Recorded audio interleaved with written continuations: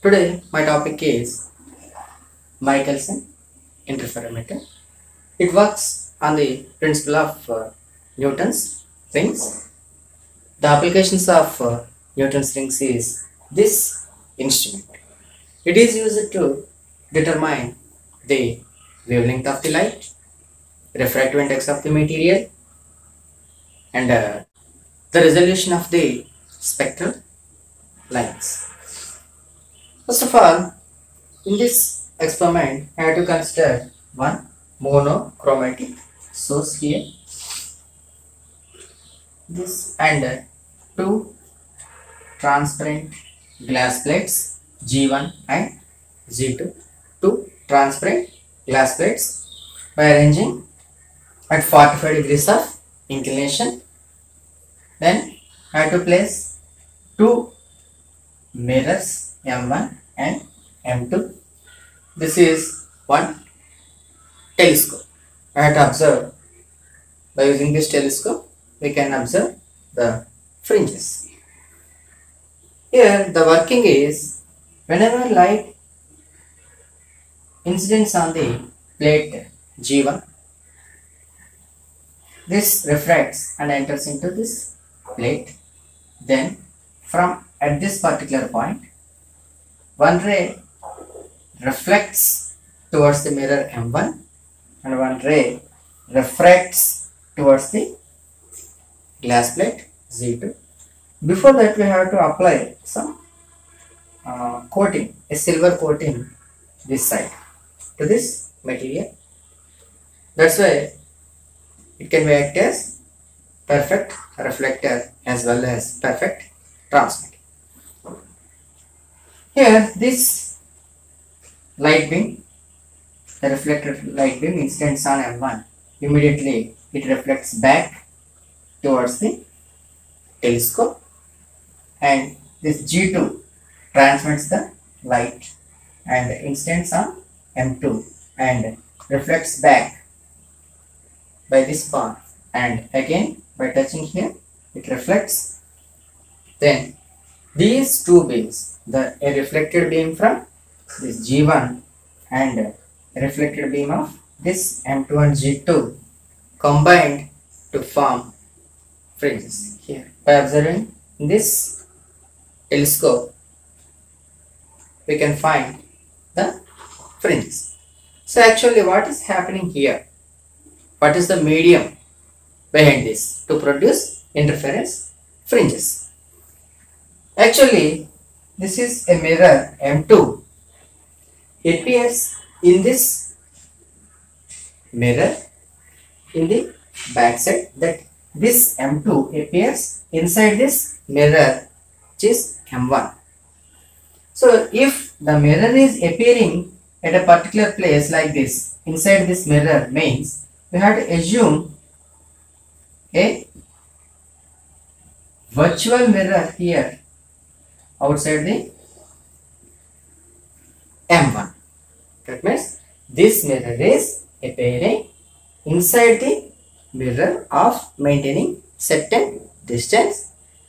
Then we can assume a virtual mirror outside this. What happens is the air film trapped between this real mirror and this virtual mirror gives the interference fringes here.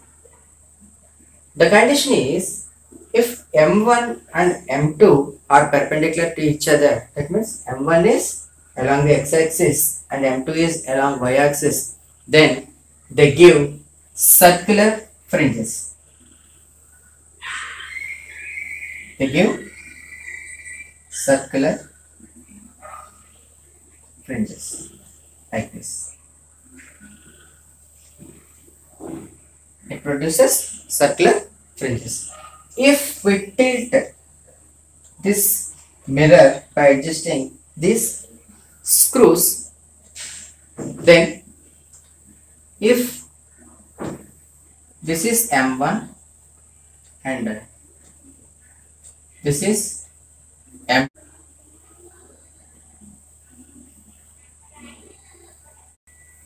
if M2 is tilted like this, if M2 is tilted like this, in this mirror, this M1 is as it is, but M2 is somewhat in this slanting position. It produces elliptical fringes like this. These are the elliptical fringes observed by this telescope. If this is M1 and uh,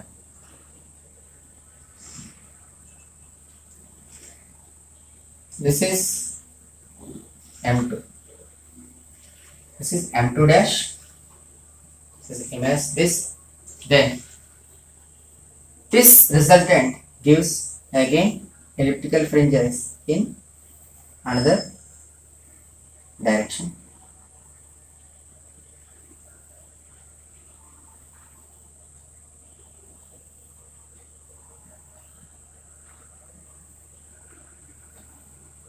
in this direction.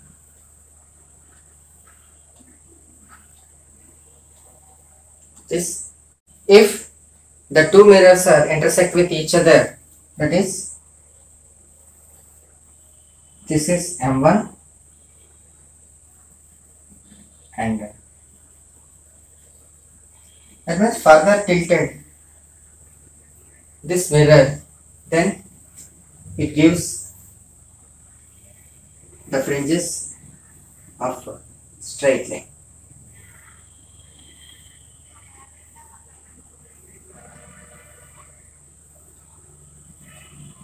It gives straight line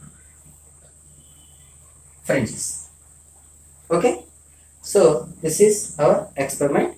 Actually, in case of uh, Newton's rings, in case of Newton's rings, the fringes forms at the position of the the Newton's rings. The fringes forms at this particular place. But here the fringes forms in between these two mirrors. This is virtual mirror, this is real mirror. For that we have to use a telescope here. We have to zoom these fringes and uh, we can observe by zooming the fringes. But here we have to use a traveling microscope which magnifies the fringes. Okay. So this question uh, nearly carries 9 to 10 marks. This is qualitative only. There is no expression there is no need of expression if you write if you draw this diagram and uh, able to write description of this then you definitely get maximum marks okay so follow this and write this and uh, subscribe my channel okay thank you